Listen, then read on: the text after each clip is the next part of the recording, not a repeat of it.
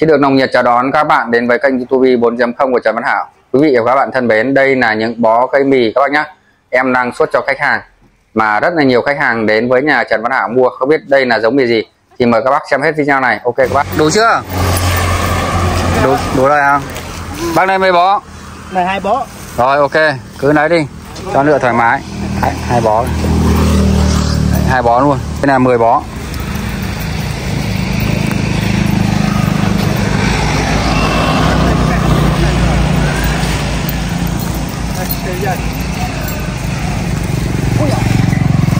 Thế thôi em nhá. Dạ. Ờ, bây giờ là cảm giác thế thế nào khi mà tới được nhà anh và nhận được cái cây giống như này?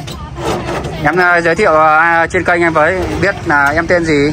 Em ở đây em đến từ đâu? Nhà hơi xa nhưng mà cây đẹp lắm anh. Cây đẹp lắm à? Dạ, Mình đến từ đâu nhỉ? em ở Đắk Năng Gia Chim á. À Đắk Năng Gia Chim nhá. Đấy, anh em ở Gia Chim thấy được uh, như thế này thì tớ biển hiệu đây giống như em trai anh uh, em tên gì nhỉ? Giới thiệu Thiện á, anh tên Thiện. à tên Thiện. Ok. À, chúc về với cái cây này HN1 được thành công được rỡ nhá. Ok em. Chặt. Đây là hiện trường em vừa cắt xong các bác này. Đấy. Được hai bó. Hai bó cây mì HN1 dài. Vừa to vừa dài. Cắt ra làm đôi vẫn còn dài. Em ở đâu nào? Các tên Lung, các tên Lung. Đông ở Đắk Tân Đông hả? Sao biết cái giống mì HN1 này em? Nghe anh em giới thiệu. Anh em giới thiệu đúng không? Và đam mê cái giống mì này, này và chạy ra làm luôn. Thì bác nào mà chưa biết giống mì HN1 thì uh, search trên Google nhá, search trên YouTube nhá để tìm hiểu nhá. Đấy, thân thẳng củ ra vòng quanh, năng suất cao, tinh bột cao, 50 tấn trên 1 hecta sau 9 đến 12 tháng. Anh em trồng lý tưởng thì anh em sẽ được cái năng suất như thế nhá. Cây mà cứ to cao như thế này là sẽ đạt, đạt năng suất này. Còn về mà các bác nuôi nó mà ốm yếu quá là nó không được đạt, đạt năng suất đâu các bác ạ. Cho nên là các bác phải làm theo quy trình nhá. Mà muốn quy trình vậy thì à, mấy cái việc cần làm là các bác phải kết nối với em qua Zalo 0976875413 à, để em lên đơn và hỗ trợ các bác. Thứ nhất là tặng cho các bác miễn phí một cái quy trình. Còn các bác cần thuốc gì thì chúng em sẽ có cái thuốc đấy gửi cho các bác. Vâng. Cái thứ hai là các bác à, theo dõi cái trang fanpage Trần Văn Hảo của em nhé. Bấm like, bấm thích trang nhá. Hàng ngày là em có phát trực tiếp trên đấy đấy. Ok các bác. Và các bác cần hỏi gì thì cứ hỏi thì em sẽ hỗ trợ các bác đồng hành cùng các bác. Em về em cứ trồng theo tự nhiên nhá. Dạ. Và có cái gì khó khăn thì alo cho anh nhá. Vâng. Vâng, ok. Còn ở đây một bó như này thì giá bao nhiêu em nó em biết không? Báo cho bà con biết luôn với. Bó như này thì tầm cỡ trăm. Ờ, 100. Bó một bó tầm hơn 20 cây. Đúng, hơn Dạ, 20 100. cây. Đấy. Rất là rõ ràng anh em nhá. Anh em nào cần thì đến đây và giá công khai. Như vậy. Ok. Tật 32 đúng không? Đấy, phỏng vấn tí nào. Đấy, cây cây thế nào? Cũng, cũng đẹp là chưa biết cũ như thế nào. Đẹp rồi đúng không? Nhưng mà biết HN1 rồi đúng không? Dạ. Biết đặc tính của nó là được rồi. Ok. Đấy, vừa 32 bó anh em vừa bóc xong rất là nhiều mồ hôi các bác nhé toát mồ hôi là phải được 32 bó.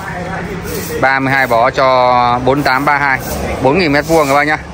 Là các bác sẽ trồng được cái à, đủ 4.000 mét vuông cho các bác. Đấy.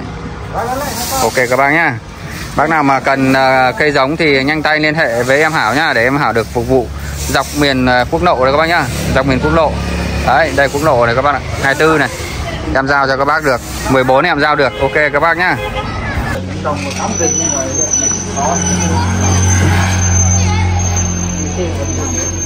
Thế bó đây anh? Năm à? Không biết củ như thế nào đúng không? Chưa biết rồi đó. Ừ. Chồng mới chồng mới biết. Ừ. Nhưng mà bó này là quá đẹp rồi đúng không? Cây này quá đẹp rồi đúng không? À, Một con à, máy cày 9510 sẽ trở về tới nhà cho bác. Đây các bác có thể thấy. Cây mì phải hai người bê. Đấy, được. Cái giống mì này là như vậy các bác nhé Vừa tốt cây vừa tốt củ. Đấy.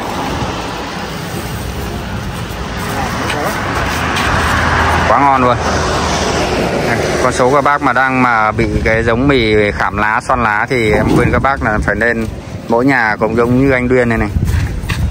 Làm vài ba chục bó. Làm bốn năm xào vào. Thì sang năm các bác nhân giống thoải mái. Có gì đâu các bác Nhá. Vì tương lai của giống mì HN1 giống mì kháng khảm. Em à, khuyên các bác là nên vào để còn được ờ, có những giống tốt. Thay đổi cho cái, thay đổi cho cái à, giống mì đang bị bệnh tật ngay bây giờ các bạn ạ. Hôm nay em đang giao cây trên quốc lộ à, 24B các bạn. Ở xã Đắc Tờ Re, xã Đắc Tờ Re con rẫy. Vâng. À, cái này thì rất là thuận tiện đường với so với nhà em thôi, em giao rất là đơn giản. Còn nếu mà các bác mà ở trên à, quốc lộ 14 này nha các bác nhá thì à, cũng liên hệ với em để em giao qua nhà xe khách các bác nhé ít thì giao qua nhà xe khách còn mà nhiều thì các bác sẽ lấy nguyên xe để cho nó tiện. Vâng. Đây là toàn cảnh mà anh em đang lên lên cây mì các bác này đấy 32 bó mà một đống to chả bá này các bác này. Đấy, bạn thấy ờ, hay thì hãy bấm đăng ký vào cái nút hình tròn của mình. Nếu mà thấy hay nữa thì các bạn có thể xem cái video bên trái hoặc là bên phải màn hình. Ok, Trấn Hỏa, xin cảm ơn các bạn đã xem hết video này. Xin chào và hẹn gặp lại các bạn trong những video tiếp theo. Bye bye.